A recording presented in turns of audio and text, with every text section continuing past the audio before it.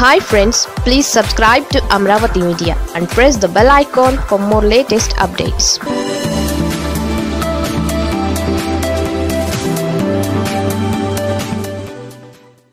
Chandrababu serious warning ఇస్తే ఆ TDP నేతలు ఏం చేశారో తెలుసా?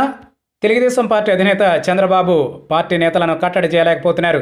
అసలే రెండు వేల పంతొమ్మిది ఎన్నికల్లో షాక్తో ఉన్న నేతలు వరుస ఓటములతో బాగా డీలా పడిపోయారు. వరుసగా వచ్చిన పంచాయతీ మున్సిపల్ ఎన్నికల్లోనూ చాలామంది దూరంగా ఉన్నారు.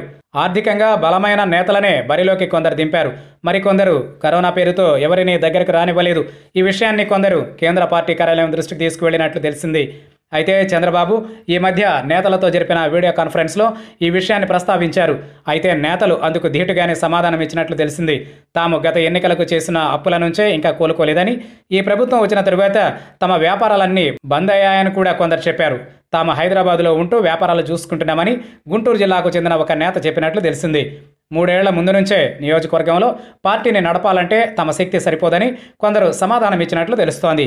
ఎన్నికలకు ఒకటిన్నర సంవత్సరం ముందు మాత్రమే తాము నియోజకవర్గంలో యాక్టివ్గా కార్యక్రమాలు చేపడతామని అప్పటి వరకు అడపాదడప నియోజకవర్గాన్ని పర్యటిస్తామని తెగేసి చెప్పినట్లు తెలుస్తోంది. దీంతో చంద్రబాబు అలా అయితే ఎలా కుదురుతుంది?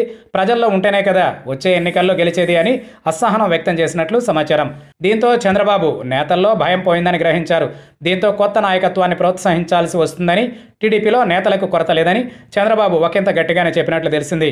కరోనా తగ్గిన వెంటనే నియోజకవర్గాల్లో యాక్టివ్గా లేని నేతలను తాను ఉపేక్షించబోనని ప్రత్యామ్నాయం చూసుకోవాల్సి ఉంటుందని చంద్రబాబు హెచ్చరికలు జారీ చేసినట్లు తెలిసింది. కానీ నేతలు మాత్రం చంద్రబాబు వార్నింగ్ను లైట్గానే తీసుకున్నారట. మొత్తం మీద చంద్రబాబు అంటే నేతలకు భయం లేకుండా పోయిందన్న టాక్ పార్టీలో గట్టిగా వినిపిస్తోంది.